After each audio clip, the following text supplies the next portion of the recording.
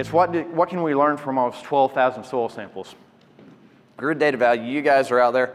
What's the value? How many times do you had consumer? What's grid data going to do me? What's my value of grid data?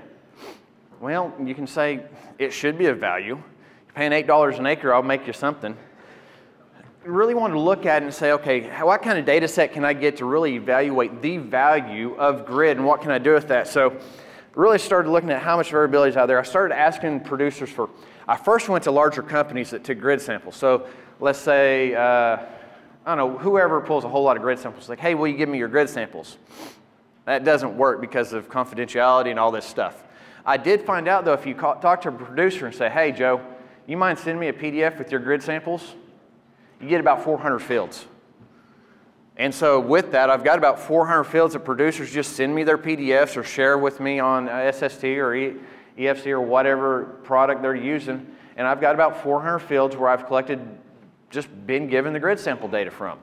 And I'm just playing with that data. And so this is some of the stuff. I've got multiple labs. Um, the goal is to have over 1,000 fields. I'm sitting at 400. And you'll see in a little bit why I want 1,000. I really don't want to stop. This is a data set that I want to keep going and going and going on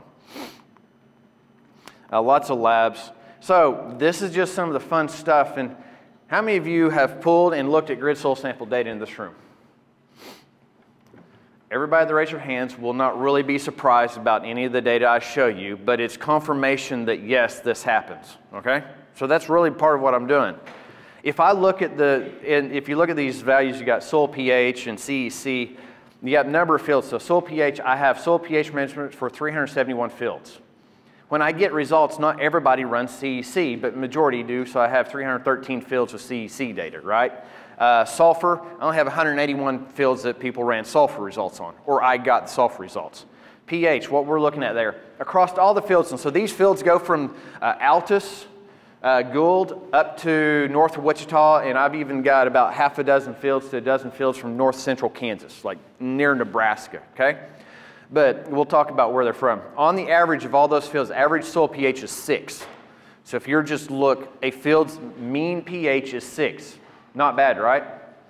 But the average range, so if you pick out any field, the average range between the whole, the low pH and the high pH is 2 units. So that means on average the fields go from 5 to 7 over about a third of the fields, about, well, not a third, just under a third, about 27% of the fields have a pH range of greater than three units. So that means if you're at a six, you pull a core, a composite, the composite comes back at a six. That means 27% of the fields have a pH range that goes from 4.5 to 7.5. Are you shocked? No but this documents it. And the, and, and the crazy thing was, when I showed this data set and I had 80 fields, the average pH was a 6.1. The range was a 2. All I have done by adding more and more fields is just the numbers have not changed by much. They go up, they go down, and they go just by one or, or so units. CEC, a range, an average of 13 with a range of 11 CEC from a, from a field.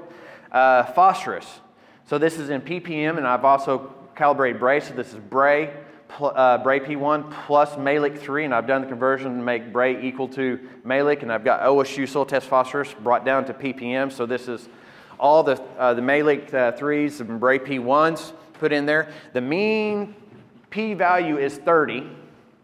So 100% sufficient for OSU is 32.5. So we are 99% sufficient on the average. Just like our soil pH, we are perfect on the average. But the range, that means every field is, let's say the mean is 30 plus or minus 60 because I can do that math a lot easier. Let's math that out in your head real quick. 30 with a range of 60, that means basically single digits to I got enough for a decade. On the average in any given field. Right? K, 195, which our, our sufficiency is 125, so on average we're high. The range is equivalent to the mean. So it's not as crazy as phosphorus, but we're still 50%. 50% plus or minus your mean. Uh, organic matter, a swing of about a unit and a half or percent and a half, which is a pretty big swing if you think about organic matter when the average is less than 2 and you have a range of 1.2, meaning we're going on an average field from 0.6 to, to 2 something. Uh, those samples, we get calcium. I always get this call, and, and people worry about low calcium. We don't have just a ton of low calcium in the southern Great Plains. When, when my average is about 1,500 pounds, and that's a pretty good deal. And mag is at 300, 300, and sulfur at 15. All right, so the fun thing about this, when I get this data set, I tell the producer, I don't want to know where it's at necessarily, but I need to know the county, right? And if you're nice enough, send me the soil series or the SSURGO data along with it so I can know what soil series are tied with the samples. But I gotta have county, that's me. If they send me a county name and a list of sample 1 through 80 and the acreage, that's all I really care about. But I'd love to have a map of where one sample 1 was re a relationship to sample 7 and this, you know, no kind of spatial. And even better if I have SSURGO to say samples 1 through 7 were in a port, while samples 21 through 48 were in a Norge. And you'll see why that's good. But I've got county and I've got area. So if you look at my sample numbers, got 150 fields from the northwest. I've got uh, the northeast. I've got uh, 35, the southwest 74, Kansas 112 samples, nothing from the southeast. Nobody's grid sampling in uh, Leflore County. I tried to get my grandfather-in-law to do it, but he's not. So he doesn't also think nitrogen's good for Bermuda grass, but that's another good, that's another story.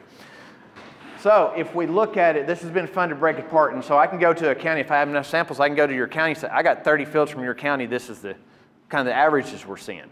I can also break it up. If a consultant sends me all their samples, I can say, here's your samples you're coming in, and if you run multiple counties, here's how each of your counties stack up. Or here's how each of your clients, if you got so many clients, here's how your clients stack up on variability. Uh, just showing you some of our ranges as it goes, just to see. It's kind of fun to see areas and some a little bit surprising numbers. The Northwest does, is included in the Panhandle, but I don't have Panhandle data. So I got like one field in the Panhandle, so just know most of this is in that area, uh, K over to Kiowa, Kansas, Burlington, a lot of that region. And their average pH is 6 with a range of 2.1. You run that area, you're not surprised that there's a big pH range out there. Not, not at all. Uh, the northeast is 6.2, a little bit higher. Why? They lime, and a lot of those fields have litter. By the way, these fields, I have all the background, so it ranges from alfalfa to wheat to pasture to corn soy rotation I've got all that stuff. All these in here. So in the northeast, a lot of litter, a lot of lime. I mean, the quarries are probably five miles from where a lot of these fields are. So 6.2, but a range of 2.3. Southwest is 6.1 1.3, and I'm kind of surprised it wasn't higher due to the amount of samples I have near Altus in the Lugert district, but it's, it is what it is. Uh, Kansas is 6 with a 1.7. Uh, just Foster showing. Uh, up in the northeast, it, it, was a little bit surprising with the litter. I know they put on, there's still lower average FOSS, 19 ppm on that range. Got 30, 25, and, and 36, 71. Oop, wrong button, sorry. Just go through here so you guys see some of the numbers. With my time limit, I want to just kind of let them flash up there. Organic matter. The Southwest, I got to look into that. I was not really sure why the Southwest is showing a really high organic matter on average. I don't think of the Southwest and high organic matter immediately, so I've got to kind of look into that one. And then the CEC on average is about the same or variance. So, like I said, for those of you that pull samples for a living, this variance isn't new. You know the ranges are great. But now if you want this, I'm happy to share it with you to take to your clients. Is like, look, this guy from Oklahoma State who doesn't have any buy-in can show you that there's an average range of two units on a field of pH, right? So I'm happy to share that. Say that we have variance. Although they know it, they've been in the combines, they've worked the ground, they know it, they, this is just numbers to it. Uh, it does show the variability across Oklahoma. Uh, the data sets are really allowing for some extensive ec economic analysis. So that's what we're doing right now. We've got the ag economists putting in different crop rotation, different crop price, different input price. Does variable rate, uh, rate lime pay? Does variable rate phosphorus pay? Things like that. Where's our break evens? Uh, although I've learned a lot from working with, you got any ag economist in the room? I don't think so. We got maybe, So the ag economists came to me after they first had this. They had about 200 fields. Like Brian, variable rate lime will not pay in Oklahoma. Like, okay, I'm not really sure about that one, but okay. So what kind of parameters? This is about a year and a half ago. It's like, well, we're using $3 wheat. It's like, well, that doesn't help. Okay, I'm kind of getting there. What's your yield range you're using? 30 bushel. It's like, man, nothing pays at 30 bushel $3 wheat, much less variable rate lime. I know that. So there are levels. I understand variable rate's not going to pay for that 30 bushel producer, but if we start talking to 60, 70 bushel wheat crops, start throwing in double crop soybeans or soybeans or some of those rotations, now something like a variable rate lime really pays. Variable rate phosphorus, if we're using sufficiency, doesn't really pay. I would not grid to, to pay for, to do variable rate phosphorus. I would grid to do variable rate lime and have the phosphorus as a background. Now, if we're doing replacement on our high yielding crops, then we can start talking about it, but you have the, you have the yield monitor by grid data at that point. Uh, I would like to get to a point where I could tell you, say, okay, I got a field, it's primarily a Norge, I got a little bit of port, uh, or I've got this soil over here that's a grant. I say that Norge has more variability than grant, you grid sample it first, because it will pay first. If I get enough data, that's my goal, is to say, I can tell you about a variability of a soil. Uh, and I just want to end with some of this. We talked about the variability of soil, and I got a whole five minutes left. So we talked about phosphorus stratification the other day. The data I talked about, I told you that this, the phosphorus in this data was sampling. Thanks, Jason. I appreciate the five minute warning. Um, the, we stratified phosphorus. So this data set, and you guys have probably seen this before, came from nine no-till, long-term no-till farms kind of near Stillwater where we did a P rate study to look at P response. Can we predict P response? Can we get it? One of the biggest take homes, if we had a composite sample from that location and just looked at all the treatments on an average, OSU soil testing rate with the pH addition made top yield every freaking time. On a composite with a six, 0 to 6 inch sample, composite sample as a composite, made it as a, broad recommendation. We maximize yield with the sufficiency on no-till winter wheat broadcast after the wheat was up. Guess what? We're doing good on the average. That is why the sufficiencies are built. They're built for an average. We got one number from uh, Leflore County or McCurtain County to uh, the Cimarron County. We do good on the average. What we did learn though, if I wanted to predict what a 10 by 20 foot area was going to do, right, a 10 by 20 foot research plot was going to do, I had no clue.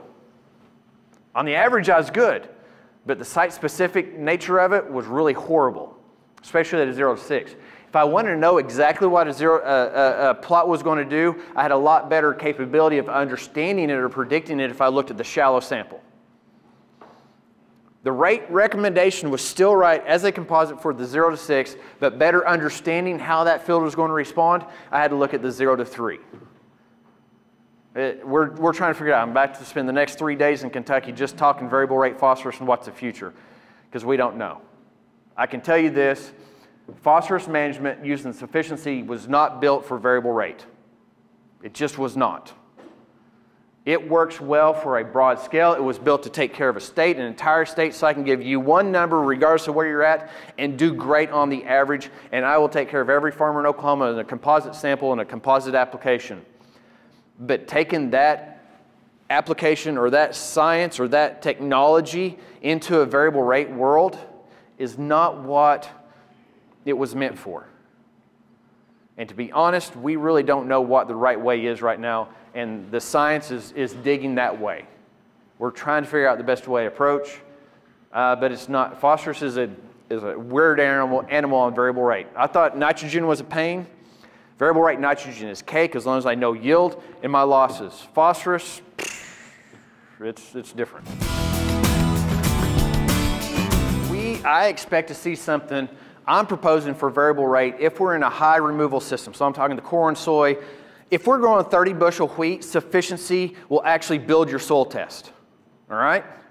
Sufficiency will build your soil test up to near sufficient level by using sufficiency because a 30 bushel wheat crop is not removing a whole lot of phosphorus. You start growing 80 bushel beans, 100 something corn, uh, 70 bushel wheat. Now we're removing more than we're putting in and we got to look at replacement. However, the replacement values is based upon I'm removing 0.3, 0.4, 0.5 pounds of phosphorus per bushel and not taking any account to what the soil actually needs because of the phosphorus buffering within the soil. That's where we got to go is combining the yield removal by soil uh, buffering, much like lime. Lime is the best variable rate technology we have in nutrient management because we are the most site specific because we have buffering index. Because we will tell you every soil how it will react to the lime because of the, the buffering index solution. We can't, we don't have a technology where we put known amount of phosphorus into the soil and can tell you what it's going to do. Right? We, not yet anyways. I don't know if we ever will, but that's, variable rate lime is the perfect variable rate because we actually have site-specific response to product. We don't have site-specific response to product for phosphorus or potassium. That's where we got to get to. That's my game is using a removal by a soil responsiveness or, or buffering something or other. I don't know what it is. Soil chemists tell me I'm, they've used other words, but let's just say silly. Um, and yeah, I am. But good question. Anything else? Right now, for the producers doing high production, a removal is probably the best application if you have soil test and adjust where you need to be at. But I think we could do a lot better. I just wanted to show, this is right here. This is the variability of a 100 by 120 foot area in phosphorus. Dr. Raun documented in the late 90s, I think it was where you did the one foot square and we had significant phosphorus differences within about three to four foot. This was the same thing. We had massive change from one corner of a 100 foot trial to the other corner, both this way and this way.